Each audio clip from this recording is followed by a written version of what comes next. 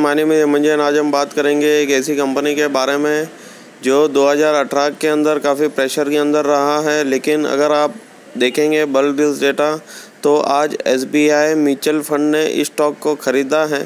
तो उसी के बारे में बात करेंगे। एक बल्क डील से एक कंपनी ने सेल किए हैं और म्यूचुअल फंड ने ख़रीदे हैं।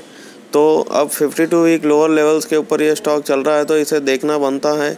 लेकिन मेरे हिसाब से पहले फाइनेंशियल रिजल्ट्स आने दीजिए, उसके बाद इस स्टॉक के अंदर आप भी देख सकते हैं medium term to longer term के लिए। और काफ़ी अच्छी कंपनी है एवरी ईयर काफ़ी अच्छा डिविडेंड भी देती है। और कंपनी ये है केवल किरण क्लोथिंग लिमिटेड 1128 के ऊपर क्लोजिंग थी। और इसका अगर आप लो देखेंगे तो आज लेटेस्ट लो है ग्यारह सौ रुपये का और हाई अठारह सौ तीस का। तो ये जो लो आप देख रहे हैं, ये पाँच साल पुराना रेट आपको मिल रहा है। पाँच साल पहले जो ये थाउज़ेंड रुपीज़ के करीब स्टॉक चलता था और कंटिन्यूस जो है इक्कीस सौ बाईस सौ के भी ऊपर ये स्टॉक गया था तो ये एक अच्छा मौका बनता है इस स्टॉक को लेने का।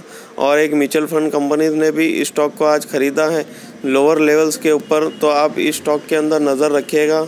और 2018 में देखेंगे तो 320 परसेंट का इस कंपनी ने डिविडेंड भी दिया है। लगभग बत्तीस रुपये के करीब डिविडेंड बनता है 320 के करीब।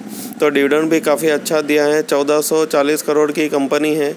दस रुपये का इसका फेस वैल्यू है। इसके अगर आप फाइनेंशियल्स देखेंगे तो फाइनेंशियल्स भी अच्छे आते हैं, लेकिन मेरे हिसाब से दिसंबर क्वार्टर के रिजल्ट्स आने दीजिए। अगर आपको लेना है तो थोड़े स्टॉक्स अभी लीजिए, थोड़े रिजल्ट्स के बाद और नीचे के लेवल पे अगर मिलता है तो अच्छा मौका मिल सकता है इस स्टॉक में एंटर करने का। सितंबर क्वार्टर का अगर आप टोटल इनकम देखेंगे तो 137 करोड़ का रहा, जो कि जून क्वार्टर से बड़ा है। जून क्वार्टर में 109 का था।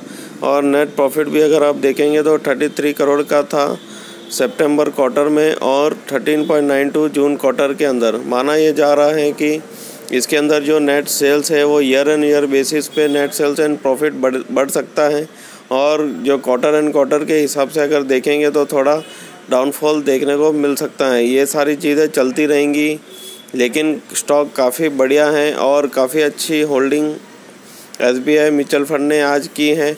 और लोअर लेवल्स पे भी चल रहा है तो आप रिजल्ट्स आने के बाद इस स्टॉक के अंदर ज़रूर देखेगा। मेरे हिसाब से शॉर्ट टू मीडियम टर्म में इजीली जो है, ये स्टॉक 1400 1500 का रेट दिखा सकता है। तो आप देख सकते हैं, ये मैंने बी एस सी बल डील्स डेटा से निकाला है। आप भी देख बाईस एक दो हज़ार उन्नीस तो नालंदा इंडिया फंड ने सेल किया है और S B I mutual fund ने बाई किए हैं लगभग two lakh ninety five thousand shares और थ्री लैख शेयर सेल किए मीन्स एक बल्ड डील्स डेटा था। बल्क डील्स हुई हैं ग्यारह सौ रुपये के रेट पे। तो एक कंपनी ने दूसरे कंपनी के साथ बल्क डील की है ग्यारह सौ के रेट पे। तो ये रेट आप ध्यान में रखेगा क्योंकि अच्छा रेट अभी मिल रहा है आपको और नीचे के लेवल पे मिलता है तो बेहतर हो सकता है। और रिजल्ट्स के ऊपर भी गौर ज़रूर करेगा और ये कंपनी डिविडेंड भी इजीली डिक्लेयर कर सकती हैं। क्योंकि काफ़ी अच्छा डिविडेंड इन्होंने 2018 में डिक्लेयर किए और रिजल्ट्स भी काफ़ी अच्छे आ रहे हैं।